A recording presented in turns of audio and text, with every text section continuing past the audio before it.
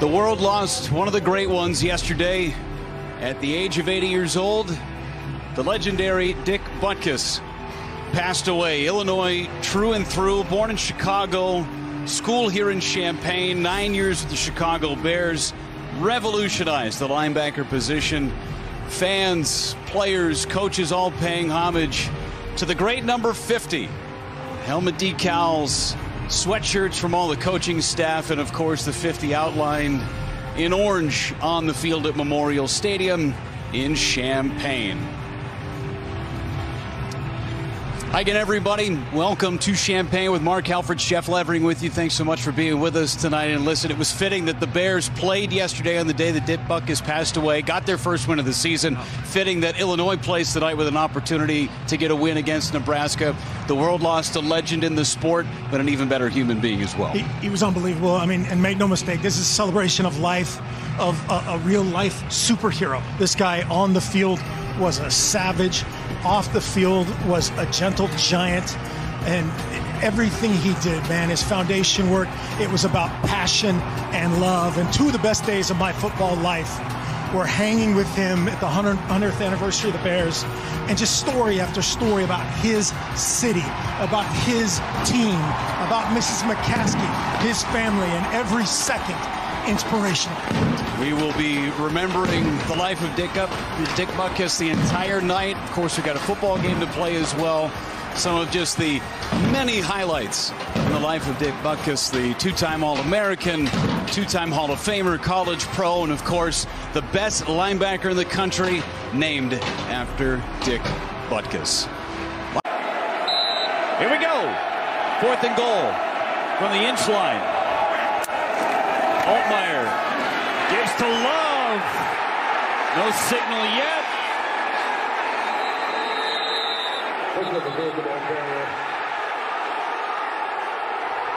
Well, the official on our side of the field marked him short, and they say he is short. Both officials came in on the sides and, and marked him down. You know, Love, the third, thought he was in. The entire offensive line thought he was in. Field Haarberg back to pass. Haarberg floats it up, going to the sideline, and it's caught. Great catch by the senior Marcus Washington. You want some space. Good for 39. One on one with strain. Washington versus strain. A ton of man coverage in this defense and just a dime. That's a great throw and catch from your own end zone. That's going to feel like a huge, huge weight off of Haarberg's shoulders into the wind, or sorry, with the wind. A little easier. That's a hard to, that's a hard to gauge type of wind. Big, big for side. 30-yard barrier. This one is up, and it is good for Alvano in Nebraska. Strikes first. Haarberg pulls it out. One man to beat. He's got the edge and a stiff arm. That's a big, big play from Heinrich Haarberg as he pushed Miles Scott down. Was 13 on 13. Now we got 10 on 10 in space. Heinrich Haarberg, 6'5", 215. Miles Scott does a great job just tempoing him to the sideline, breaking that stiff arm. Good finish. He'll hear about that one in the film to pass again. Pressure up the middle. Haarberg swings, and it's caught. Just past the sticks, and a massive fourth down picked up. Alex Bullock on another chain-moving catch. Haarberg just gets a little pressure up the middle. Great job resetting his eyes downfield. And a little drop down sidearm slider converts. Creativity with the arming let him go. Out of the shotgun, Haarberg. Hands, Grant leaping for it. Officials coming in. They are marking him short again. Other than Grant, the ball carrier. That is advantage Illinois right there. Oh. And just at the last moment, touchdown Nebraska. It looked like this side judge had his foot short. Yeah, had it marked short. There's no doubt Illinois won that initial battle but just a fight for Anthony Grant, the big physical back. Uh, Florida State via New Mexico, New Mexico military. Let's take a look from the vantage point. The game clock. to 647. 647 Can't see anything there, but you see that initial push, resetting the line of scrimmage by the Illinois D line, but just a great finish. You see Corcoran in the end zone, and most importantly, Anthony Grant with the tip of the ball in the end zone. And it has been confirmed. See what that does to this kickoff as well. There it is. I think parachutes. Who's going to come and pick it up? It takes a Nebraska bounce. Did the Cornhuskers pick it up? Ball is in there somewhere. Who's got it?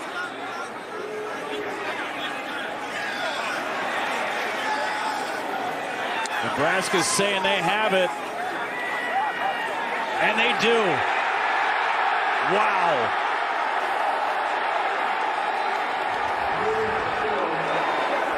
Haarberg in business. Haarberg keeps a seam. Haarberg lowers his head into the end zone. A touchdown for the Cornhuskers.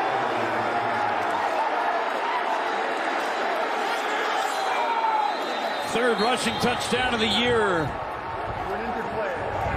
10 and 12 respectively.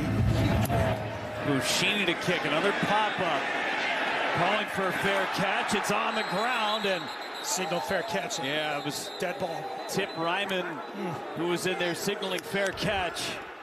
The receiving team signaled for a fair catch. As The ball when Reiman recovered is signals for the fair catch. By rule. First The down and ten. returners, the back returners have to communicate and get him out of the way. They clearly talked about that. You see Wilcher, Beatty, got to take control, get that up back out of the way. You can still return that if you communicate it. Put Williams in motion. He's been real quiet recently. Altmaier steps up, and he's wrapped up and brought down. John Bullock, the linebacker, comes up with a sack. His brother Alex has had a out, right- Javin Wright was in coverage right there. Big eyes, could have been a pick. floating one down the sideline. Catch is made. Touchdown, Illinois. Pat Bryant for six.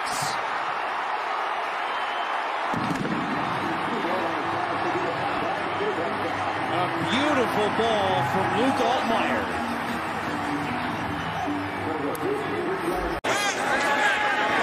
Altmaier to pass, all kinds of time, flushed out. What a catch! Great hands by Bryant. He scored the touchdown. Chains move, 18-yard gain. Great job staying in bounds. Really good job by Altmaier. Just turns into a three-man rush. Has plenty of time. He was just going to throw this away. Picked up nicely, Haarberg to the outside. Hammered. Nicholson jarred it free. Borkacher tried to make the catch. And Nicholson had the big hit. Nicholson brought the wood after Illinois dials up the pressure. Watch the inside. We'll look at this first.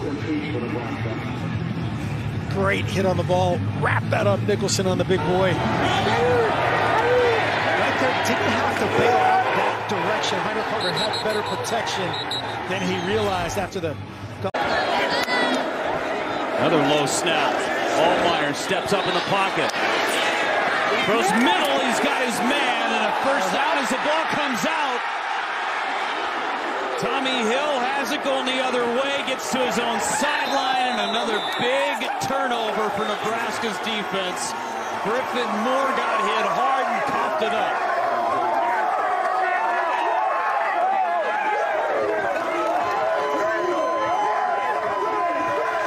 Luke Altmaier does a great job recognizing it's a three-man rush, evades it. As we look at it from this direction, to our left. Good job putting it on Moore, and then just a shot. That was Phelan Sanford. He has made the most of this opportunity for Singleton. Putting his face on that ball. Picturesque hit and a dream hop to an offensive-minded player in Tommy Hill. Right into his hands. The 30-year-old punter. Welcome on, Mondo. Uh-oh. Got to get rid of it. It's blocked by Nebraska. out of bounds. And they will spot it at the 22 yard line. Another miscue by Illinois. Yeah, yeah, this don't know exactly what's going on here for Hugh Robertson. Has to see this edge rusher coming, Sideline get it out. Press. It's their first of the game. There is no yardage. Steps First up down inside of and- Gunnarsson. Gunnarsson loops out after the edge is set 97. Great job getting in front of it, but that that's just assignment error by Hugh Robertson. Not very often do you see a block kick with someone's shin. But that's where Gunnarsson got it. Give up the middle. Feagin is stopped short.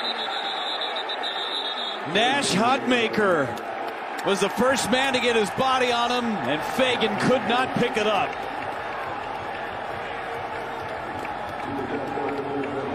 You said it, man. Nash Hutmacher inside out. A little frustration on that side. Haarberg gives it. Johnson ball is out. Illinois says they have it. Boy, what another opportunity missed if Illinois comes away with this ball for Nebraska.